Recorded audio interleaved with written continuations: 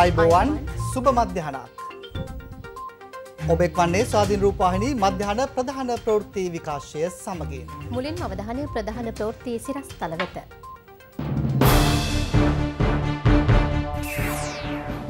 ශ්‍රී ලංකා ජනපති ජගත් සමුළුව අමතන්න නිව්යෝක් වෙත ළඟාවෙයි. දින හතලිහකට පසු කොරෝනා මරණ ලැයිස්තුව සියයෙන් පහලට. ශ්‍රී ලංකාවේ සංචාරක තහනම ජපානයත් ඉවත් කරගනී. තිස්ස මහාරාම රිය අනතුරකින් දෙදෙනෙකු මරුට කරුණු සඟවනවා කියා පොලිසියට ජනතාවගෙන් චෝදනා. දඩේමේ ගිය සමගි ජනබලවේගේ සිඩ්නි STF අත්අඩංගුවට. තලේබාන් පාලනයෙන් ඇෆ්ගනිස්ථාන මාධ්‍යට වැටුණු වාරණය.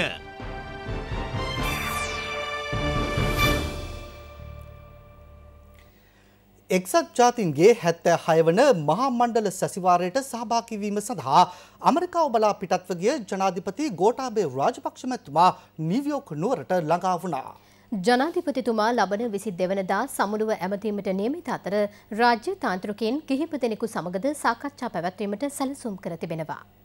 නිව්යෝක් ජෝන් F කෙනඩි ජාත්‍යන්තර ගුවන්තොටුපළට ළඟා වූ ජනාධිපතිතුමා ඇතුළු දූත පිරිස පිළිගනු ලැබුවේ එක්සත් ජාතීන්ගේ සංවිධානයේ ශ්‍රී ලංකාවේ නිත්‍ය නියෝජිත මොහන් පේරිස් මහතායි. COVID-19 වෛරසයෙන් සුවේ ලබා ගැනීම සඳහා බලාපොරොත්තු සහගත බව තුළින් ඔරොත්තු දීමේ හැකියාව වර්ධනය, තිරසර බව යළි ගොඩනැගීම, පෘථුවියේ අවශ්‍යතාවයන්ට ප්‍රතිචාර දැක්වීම, මිනිසුන්ගේ අයිතිවාසිකම් වලට ගරු කිරීම සහ එක්සත් ජාතීන්ගේ සංවිධානය නැවත පණගැන්වීම තේමා කරගනිමින් මෙවර එක්සත් ජාතීන්ගේ රාජ්‍යනායක සමුළුව ලබන අඟහරුවාදා ආරම්භ වනවා.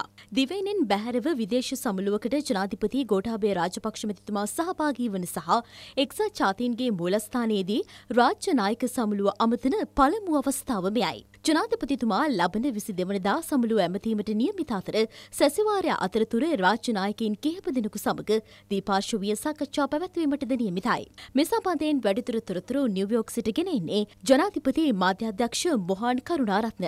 මහා මණ්ඩල සැසිවාරයේ විදේශ අමාත්‍ය මට්ටමේ සමුළුව හෙට පෙරවරුවේ ආරම්භ වන අතර සමුළුවට සහභාගිවීම සඳහා රටවල් රැසක රාජ්‍යනායකයෝ මේ වන විටත් නිවියෝක් නුවරට පැමිණ සිටිනවා. රාජ්‍යනායක සමුළුවේ දෙවන දින පෙරවරුවේ සිය දේශනය සිදු කරන ජනාධිපත්තුමා විසි තුන්වන දින පැවැත්වෙන ආහාර පදත සමුළුවේදී සහ විසි හතරවනිදා පැවැත්වෙන බලශක්තිය පිළිබඳ ඉහළමට්ට මේ සංවාදයේදී සිය අදහස් දැක්වීමට අපේක්ෂා කරනවා. සැසිවාරය අතරතුර ජනාධිපත්තුමා රාජ්‍යනායකයන් කිහිප දෙනෙකු සමඟ දීපාර්ශ්‍රිය සාකච්ඡා පැත්වීමටද නියමිතව තිබෙනවා. තිස්සමහාරාම සදුන්ගම මුතියම්මාගම ප්‍රදේශයේදී සිදු රියානුතුරකින් පුද්ගලයින් දෙදෙනෙකු මිය ගොස් තිබෙනවා. මෙම සිද්ධිය සම්බන්ධයෙන් කරුණු වසන් කිරීමට පොලිසිය උත්සාහධරණ බවට චෝදනා කරමින් ප්‍රදේශවාසීන් පොලිසිය ඉදිරිපිට කලාකාරී ලෙස හැසිරුණා. ත්‍රීරෝධරථයක් සහ ට්‍රක්රථයක් එකිනෙක ගැටීමෙනුයි අනතුර සිදුව තිබෙන්නේ. ට්‍රක්රථයේ ගමන්ගත් පුද්ගලයා බීමතින් සිටි බවට ඥාතීන් සහ ප්‍රදේශවාසීන් චෝදනා කළා. පුරන් පස්සේදී වැඩි වෙලා කියන පැයක් යන කලින් අපිට වීල් එකයි කැන්ඩරේ සීලම දේල පොලිසියෙන්ම වෙන ගමනේ අහිංසක මිනිස්සෙක් හපුරු නම් ඇල පොලිසියෙන් පටවන්න නැහැ වීල් එක. පටවගෙන ඔක්කොම කරගෙන පොලිසියට අරන් ගියා සේරම ටික. පොලිසියේ ඥාතිකන් තියෙන හැපිට් කෙනාගේ ඩ්‍රයිවර්ගේ අයිතිකාරයට. අයිපි නෝනාගේ මස්සිනා. එයාගේ තමයි කැන්ඩරේ ආපුනේ එතන පොලිසියෙන් බලලා යනවා එයා තාම එන්නේ නැහැ වෙතෙන්ට එක්කන් එන්නේ නැහැ. බීලද කියලාවත් චෙක් කරන්න. එයා හොඳටම බීලා. පොලිසියෙන් ඇවිල්ලා අපිට උපදෙස් දීලා ගියා. අපේ වේදනාවත් තේරුම් ගත්තේ නැහැ. මේක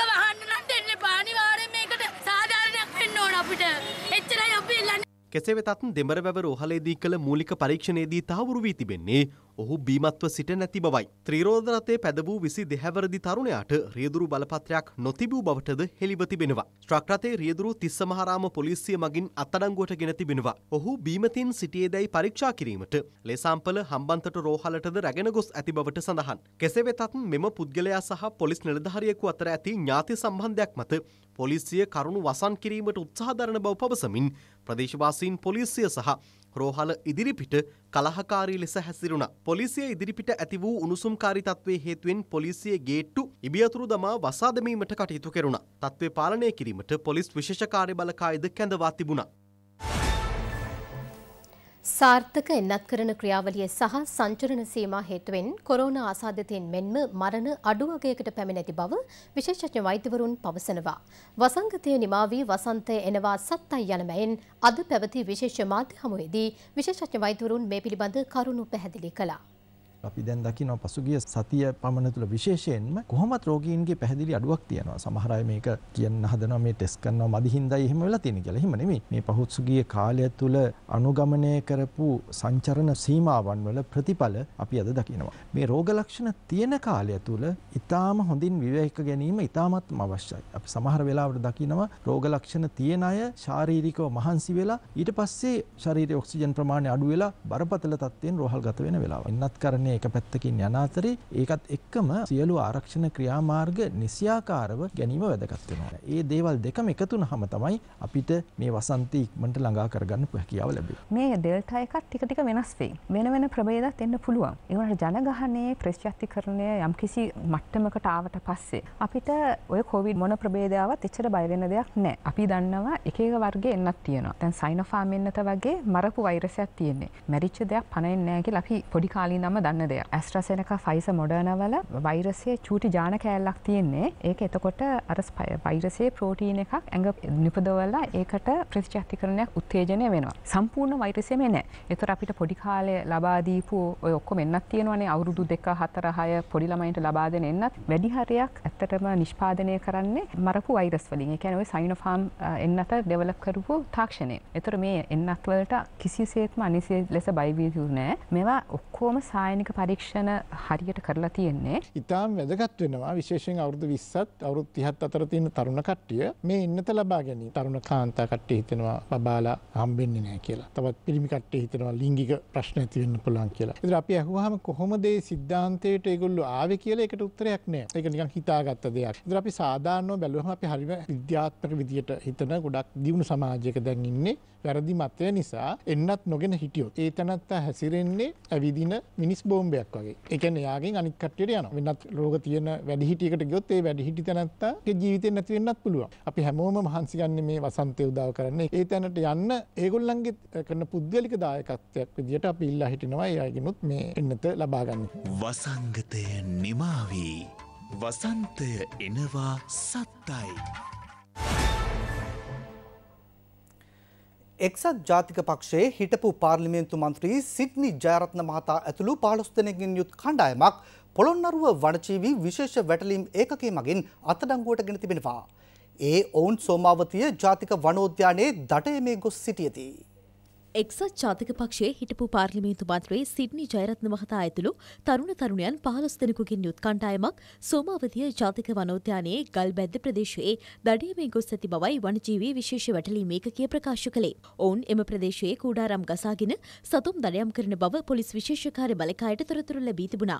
එම බලකාය සහ වනජීවී විශේෂ වැටලීම් ඒකකය මේ සම්බන්ධයෙන් මෙහෙයුමක් ආරම්භ කළ අතර එහිදී මෙම පිරිස අත්අඩංගුවට ගෙනුණා. යතුරු පැදි අටක්ද පොලිස් බාරයට ගෙන තිබෙනවා. කූඩාරම් තරමක් විදුලි පන්දම් මාළු දැල් පිහි ඇතුළු තවත් උපකරණ රැසක්ද ඔවුන් ළඟ තිබී සොයාගෙනුණා. මෙම පිරිස පොළොන්නරුව මහේස්ත්‍රාත් අධිකරණයට ඉදිරිපත් කරනු අතර ඇප මත නිදහස් කෙරුණා.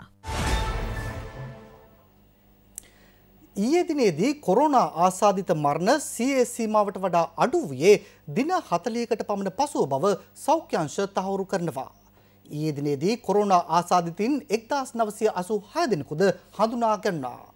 මේ අතර රුසියාවේ නිෂ්පාදිත ස්පුට්නික් එන්නත් මාත්‍රා තවත් තොගයක් අද අලුයම මෙරටට රැගෙනෙනු ලැබුවා.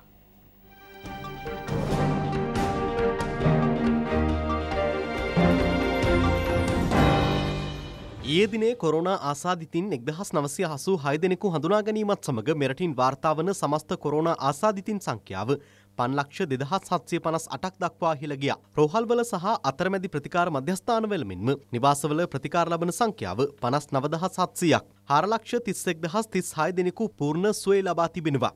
ඊයේ දිනේ තහවුරු කළ කොරෝනා මරණ 84ද සමගින් මෙරට සිදුව ඇති සමස්ත කොරෝනා මරණ සංඛ්‍යාව 12022ක් දක්වා ඉහළ ගියා. PCR පරීක්ෂණ 9654ක් සහ රැපිඩ් ඇන්ටිජන් පරීක්ෂණ 3054ක් ඊයේ දිනේ සිදු කර තිබෙනවා. මේ අතර COVID-19 ප්‍රතිශක්තිකරණ වැඩසටහන යටතේ රුසියාවේ නිෂ්පාදිත ස්පුට්නික් V එන්නත් මාත්‍රා 1,20,000ක තොගයක්ද අද අලුයම මෙරටට රැගෙන එනු ලැබුවා. මෙම එන්නත් වසංගත රෝග විද්‍යා ඒකකයේ මධ්‍යම එන්නත් ගබඩාවේ විශේෂ ශීතාගාරවල ගබඩා කෙරුණා. AstraZeneca Covishield Sinopharm Sputnik Pfizer සහ මොඩර්නා යන කුමන හෝ එන්නතක පළමු මාත්‍රාව මේ වන විට එක්කෝටි තිස් හත් ලක්ෂ හතලිස් නවදහස් අටසිය අනු හත් දෙනෙකුට ලබාදී තිබෙනවා. එක්කෝටි දසලක්ෂ පනස් හතරදහස් එකසිය එක් දෙනෙකුට දෙවැනි මාත්‍රාව ලබාදී ඇති බවයි සෞඛ්‍යංශ තහවුරු කරන්නේ. කොරෝනා මර්දන එන්නත් ලබාදීමේ කටයුතු දිවයින පුරා සාර්ථකව සිදු කෙරෙනවා. එමෙන්ම වයසවුරුදු හැට වැඩි ජේෂ්ඨ පුරවැසියන්ට සහ එන්නත් කරන මධ්‍යස්ථානවලට පැමිණීමට නොහැකි පිරිස් සඳහා එන්නත් ලබාදීම නිවෙස් වෙතම ගොස් සිදු කිරීමේ ජංගම සේවාද ක්‍රියාත්මකයි. කොරෝනා ව්‍යසනය හමුවේ ශ්‍රී ලංකාව ඇතුළු රටවල් කිහිපයකට පනවා තිබූ සංචාරක තහනම ඉවත් කිරීමට පියවරගෙන තිබෙනවා. මෙම රටවල සිට පැමිණෙන සංචාරකින්ට ජපානයට ඇතුළුවීම තහනම් කර තිබුණා. කෙසේ වෙතත් මෙම රටවලින් පැමිණෙන පිරිසට ගුවන්තොටුපලේදී සිදු කරන පරීක්ෂණයකින් පසුව ජපානයට ඇතුළුවීමට හෙට සිට අවසර ලබා දී තිබෙනවා.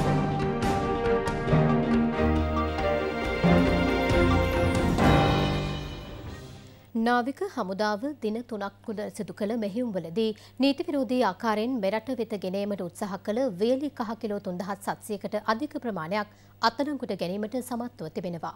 ඒ සමග අත්අඩංගුවට ගෙන ඇති සැකකරුවන් සංඛ්‍යාව දහයක්. මන්නාරම සෞත්බාර් හා ඉරුක්කලම්පිට්ටි වෙරළ ප්‍රදේශයන් මෙන්ම මන්නාරම දකුණු මුහුදේ පසුගිය දාසය දාහත සහ දහ අට යන දිනවල දිසිදු කෙරනු විශේෂ සෝදිසි මෙහෙවුම්වලදී මෙලෙස නීති විරෝධී අයුරින් රැගෙනීමට උත්සාහ කළ කහ කිලෝග්‍රෑම් තුන්දහස් හත්සිය හතරක් අත්අඩංගුවට ගැනුණා.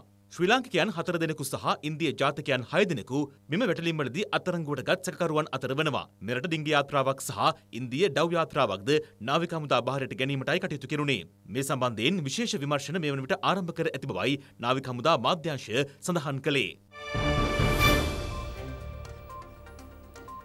සුරකින් වූ ගංගා වැඩසටහන යටතේ දිස්ත්‍රික්ක විසිපහටම මුදල් වෙන් කර ඇති බව අමාත්‍ය මහින්ද අමරවීර මහතා පවසනවා.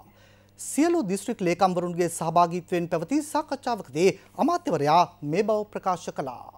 දිස්ත්‍රික් ලේකම්වරුන් තම දිස්ත්‍රික්කවල ක්‍රියාත්මක කිරීමට යෝජිත ව්‍යාපෘති පිළිබඳවද පැහැදිලි කළා. සුරකිමු ගංගා ව්‍යාපෘතිය සඳහා මෙම වසර වෙනුවෙන් වෙන්කර ඇති මුදල රුපියල් මිලියන දෙසීයක්. එය අනුව දිස්ත්‍රික් දහතුනක ව්‍යාපෘති තිස් හයක් සඳහා මෙවන විට අනුමැතිය හිමිව තිබෙනවා. එම ව්‍යාපෘති ක්‍රියාත්මක කිරීම සඳහා රුපියල් මිලියන එකසිය දහටක මූල්‍ය ප්‍රතිපාදනද දිස්ත්‍රික් ලේකම් කාර්යාලවලට ලබාදී ඇති බවයි අමාත්‍යවරයා ප්‍රකාශ කළේ.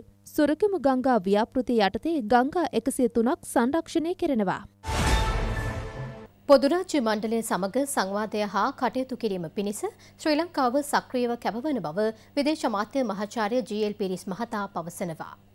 පොදුරාජ්‍ය මණ්ඩලේ මහලේකම් පැට්‍රිෂ ස්කොඩ්ලන්ඩ් මහත්මිය සමග නිව්යෝක්හි පැවති හමුවේදී ජීල් පිරිස් මහතා මේ බව තහවුරු කළා. පොදුරාජ්‍ය මණ්ඩලේ ආරම්භක සාමාජිකයෙකු ලෙස ශ්‍ර ලංකාව එම සංවිධානයේ සාර්ධර්ම මූලධර්ම හා අරමුණු වෙනුවෙන් කැපවී කටයුතු කරන බවද එමහතා ප්‍රකාශ කළා. වානිජ්‍ය අධ්‍යාපන වෘත්තිය පුහුණුව හා දේශගුණික විපර්යාස ඇතුළු ශේත්‍ර ගණනාවක් තුළ පොදුරාජ්‍ය මණ්ඩලය සමඟ තවදුරටත් සහයෝගීතාවෙන් කටයුතු කිරීමට ශ්‍ර ලංකාව අපේක්ෂා කරනවා. ශ්‍ර ලංකාව පොදුරාජ්‍ය මණ්ඩලේ සමඟ පවතින අකණ්ඩ සමීප සම්බධතාවද පුදුරාජ්‍ය මණ්ඩලේ මහලේකම්මරිය මෙහිදී අගය කළා.